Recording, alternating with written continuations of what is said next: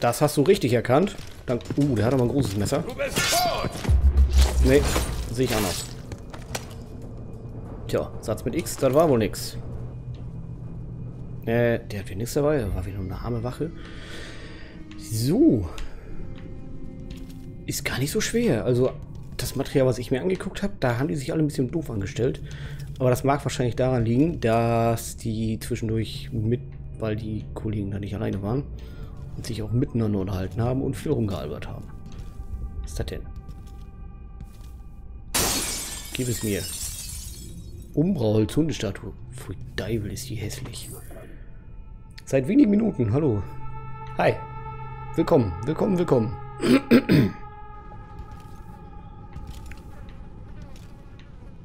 Ach, guck mal, hier wäre ich sonst da runtergekommen. Ach, hier, äh... Alter, hat der große Hände. Was ist mit dem denn los? Wer ist er? Der Würger oder was?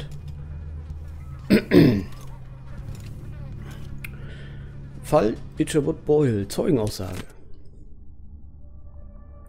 Name des Zeugen Peter Atkins. Beruf Streichholzmacher. Der hat eine große Zukunft vor sich. Der wird reich. Streichholzmacher. Macht er die per Hand oder maschinell? Am...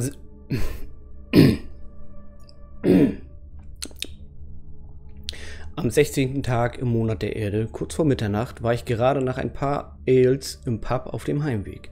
Als ich neben dem Büro der Boyle-Gesellschaft zum Pinkeln Halt machen wollte, habe ich Stöhnen und das Knarzen von Möbeln gehört. Ich dachte mir, da haben zwei Leute gerade Spaß miteinander und bin nachschauen gegangen. Du perverser kleiner Drecksack. Aber als ich näher zum Fenster kam, fing Mr. Boyle an zu schreien, wie ein Schwein auf der Schlachtbank. Er war komplett verschnürt. Da war jemand in einem Kapuzenumhang und ich schwöre, ich glaube, der hat Mr. Boyles Eingeweide gegessen.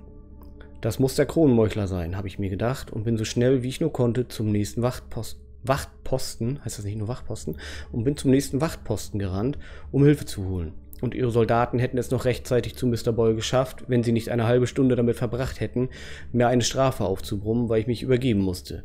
Nach dem, was ich gesehen habe, hätte, ich je, hätte sich jeder übergeben. Sie sollten ein bisschen mehr Respekt zeigen.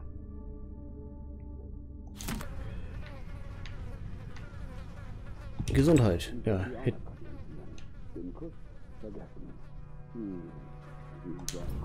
Hätte der Kollege auch gebrauchen können. Steht hier etwa einer vor der Tür rum? Jo. Aber nur einer, ne? Okay, ich glaube, da hinten muss ich irgendwie längs. Rein theoretisch könnte ich den hier auch wegmurksen, aber der liegt da mitten auf der Straße. Ich glaube, das wäre ein bisschen ungünstig. Ansonsten haben wir nicht viel. Alter, was hat der für Hände, Junge? Ach, oder der hängt hier schon länger. Ach, kann sein, dass dem das scheiß Blut in die, in die, in die Wurstfinger gelaufen ist, ne? Ich glaube, der hängt hier auch schon ein bisschen länger rum. Der stinkt auch schon ein bisschen. Also so wie ich morgens nach dem Aufstehen. Ichabod Boyle, zerstückelt vom Kronenmeuchler. Kein Freund von mir, aber ob er es verdient hat, so zu sterben? Naja, zerstückelt würde ich das jetzt nicht nennen, aber hey, du bist Bruce, du weißt, was du erzählst und tust. Uh, restricted area. Uh, the Crown Killer is watching. Wie wäre ich denn, wenn ich da jetzt die Treppe runtergelatscht wäre, wie wäre ich denn da... Nee? Muss ich durch die Haupteingangstür raus? Wäre ich nicht so begeistert von.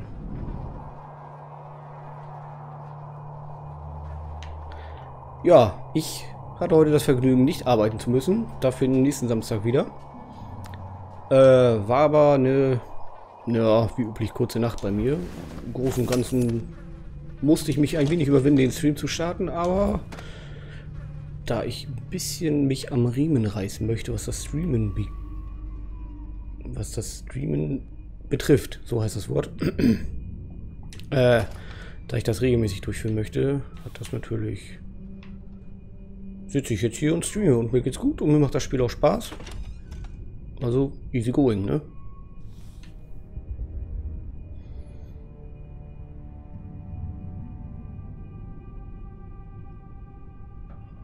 Stören dich denn so viele Zuschauer, Tino? Oder woran liegt das? Das eigentlich, eigentlich ist es, äh, also der einzige Grund, warum ich eigentlich gerade Dishonored 2 spiele, ist dieser, dieses durchaus bestehende Bedürfnis, mehr Zuschauer anzuziehen. Und da das Ding gerade hier von Twitch auch promoted wird, habe ich mir gedacht, ja Mensch, spielst du es auch? Wenn es promoted wird, kann es ja eigentlich... Besteht die Chance, da ein paar mehr Zuschauer zu generieren. Und im Moment klappt das ja ganz gut. Finde ich in Ordnung. So, was haben wir hier? Pistole. Naja, eigentlich nur eine Kugel, ne? Kohle. Na, war, hat sich ja fast nicht gelohnt. Hier ist viel von nichts. Da oben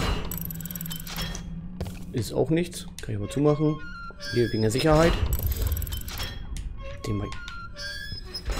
Was ist das denn da? Da liegt ein Sack. Komm ich da hoch? Nee, ne? Eh, nee. Schade. Da liegt auch ein Sack. An dem kann ich aber nicht viel machen. Mhm. Mhm. Nix.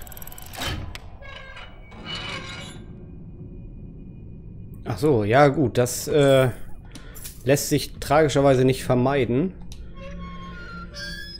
Weil, äh, ich sag mal so, wenn du dir mal den Chat bei Gronk jeden Freitag anguckst, ne, das... Uh, ein Herz. Ach so. Äh, wenn du dir mal den Chat bei Gronk jeden Freitag anguckst, also den kann ich auch nicht mitlesen. Ich weiß teilweise nicht, wie er das macht, aber das ist schon, also wenn er liest, das ist eine enorme Leistung, dass er da hinterherkommt.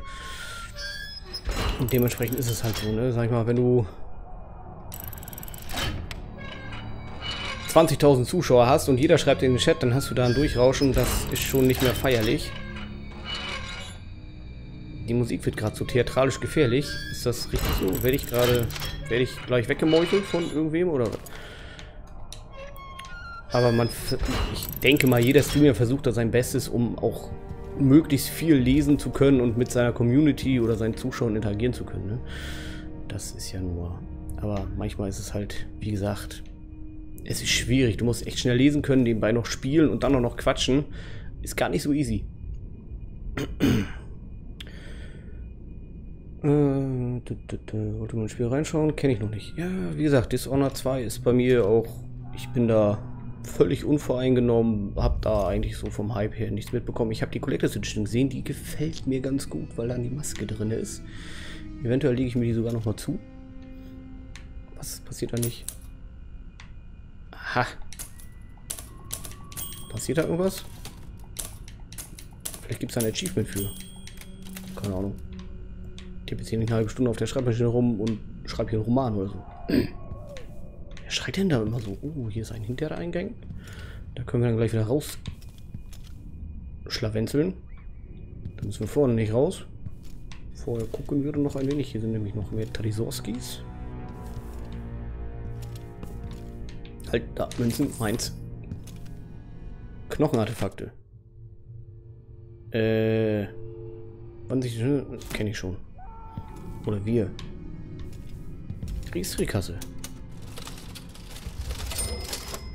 Leer. Toll. Kriegskasse. Ja. Nein, halt, halt! Mein Geld. Gib mir das. Ich habe das nicht erwischt. Mün Mün Münze? Münze jetzt. Münze machen. Ich hoffe, wir haben Handschuhe an. Ich glaube, sowas wie Fingerabdrücke gab es hier noch nicht, ne? Fünfermünze, Alter. Jetzt machen wir richtig Kohle, ey. Richtig fett Kohle.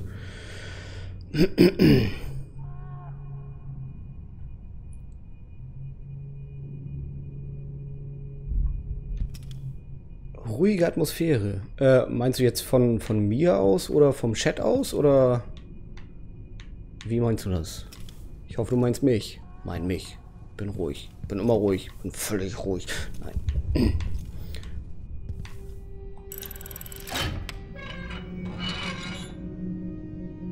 5489 Zuschauer der liebe Gronk. Ja, nicht ganz. Also gestern waren es, glaube ich, teilweise fast 40.000. Und ja, ich glaube, ich meine im Durchschnitt, also ich gucke auch jeden Freitag. Und ich meine im Durchschnitt ist er so bei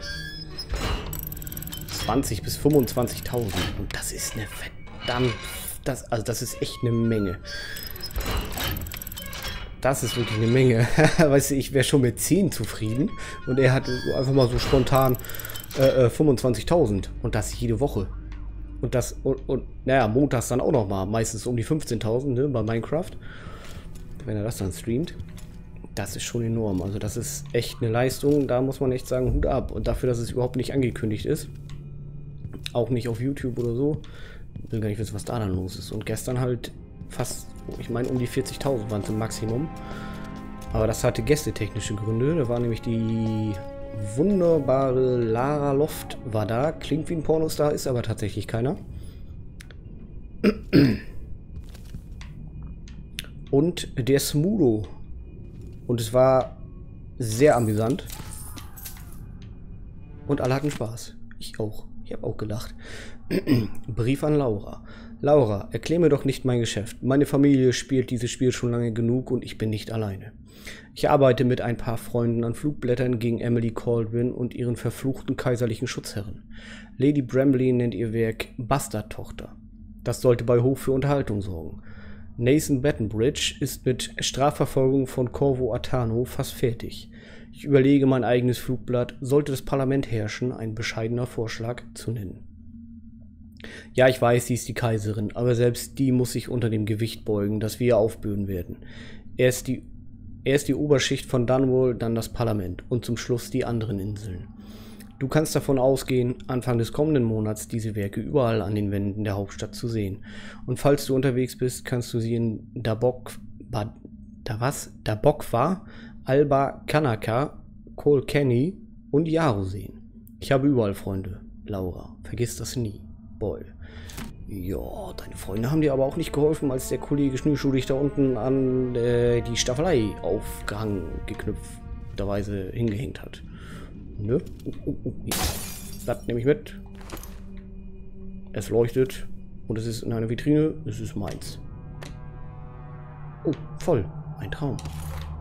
Municiones. Municiones volles. Da ein Kärtlein.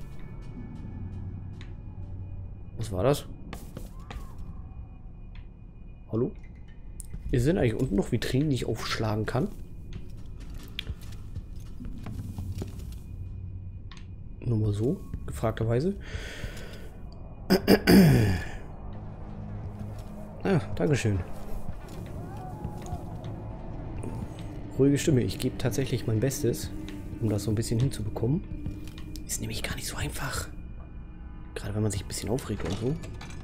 Musste auch ein bisschen, also habe auch lange gebraucht, um auf dieses Stimmlevel zu kommen. Aber wenn du das sagst, dass das gut funktioniert, dann habe ich ja bisher alles richtig gemacht und vielen Dank. Ich fasse das dann auch gleich mal als Kompliment auf. Und randaliere gleich mal. Oh. Hier ist nichts drin? Hm, wollten nur auf Nummer sicher gehen. Hier auch nicht. Was ist das für ein Geschäft hier? Glasvitrin, wo nichts drin ist.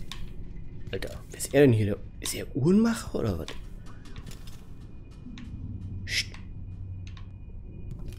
Hm. Oh, Münzen. Die Uhren kann ich nicht mitnehmen, ne? Nee. Die haben auch so schön geglänzt. Also meine Vitrinen sind alle voll, die ich hier rumstehen habe. Hallöchen. Kohle, Kohle, Kohle. Meins, meins, meins, meins, meins. Gib her. Meins, meins, meins, meins. Meins.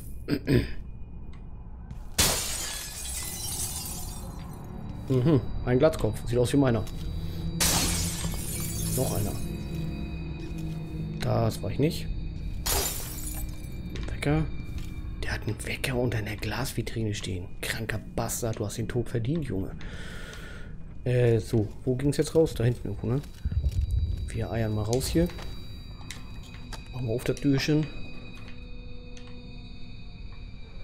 Ach, genau. Gut. Ihr zwei habt nichts gesehen, ansonsten komme ich wieder.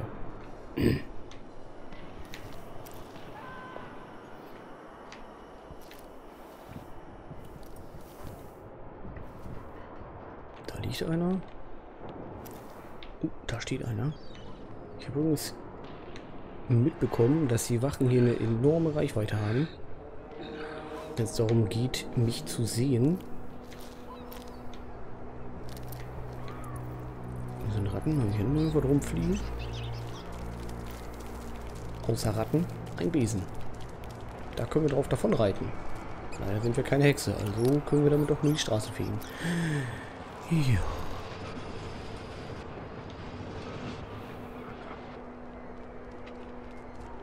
Ja. So sehe ich morgens nach dem Aufstehen aus. Nur mit Bart und ohne Haare auf dem Kopf. Aber der Gesichtsausdruck passt. Wanted. Ich sehe das gar nicht, ist voll unscharf. 15.000. Ich will auch nicht hinrennen, sonst sieht der Hayo mich da. Das wäre schadhaft. Nicht gut fürs Geschäft. Die haben alle nichts dabei. Voll die Armschlucker. Was haben wir hier? Das ist eine Kasse, oder? Die mache ich jetzt aber nicht auf.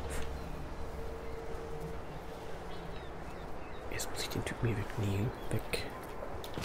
Machen. Nein. Hey, Ruhe. Scheiße, falsche Taste gedrückt. Bin ich. Oder was? Nö. Ich wollte ihn nicht erwürgen. Alle töten, alle töten. Was ist das hier? Futter. Rattenspieß. Uh, lecker. Was ist da noch dran? Mettwurst und Käse? Ach stimmt, das fängt das habe ich auch noch. Das sieht ja unbedingt. Also das ist äh, Rattenspieß. Gibt es bei mir auch immer. Meistens zum Abendessen. Leer. Scheiße.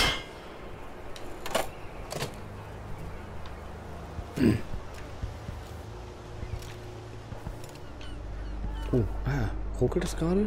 Nee, ne? Ich will nicht hoffen. ist auf Befehl der Wache gesperrt. Schnauze. Gesperrt? Und was soll ich jetzt machen? Nicht mein Problem, Bürgerin. Sie so. sollten besser nach Hause gehen. Meins auch nicht. Ich so, ich könnte rein theoretisch darüber... Und dann wäre ich da unten. Glauben Sie mir, Sie da wollen nicht auf was? den Straßen sein. Weitergehen.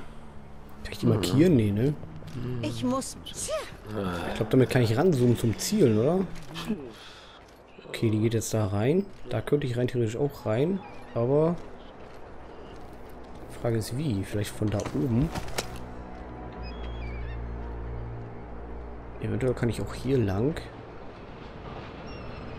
Aber die Frage ist, wie weit? Wo bist du hin? Ich muss da, ich muss sowieso darüber, ne? Könnte ich eigentlich, pass auf, ich speichere einmal. Weil ich schlau bin. Und Angst, und, und ah, angstlicherweise ängstlich. Ich glaube, da kann ich nicht rüberspringen, ne? Aber ich kann hier, kann ich da hoch? Eventuell. Mal so, zum Testen. Oh, äh. Schnauze. Hat er ja gerade hingerotzt? Alte Drecksau.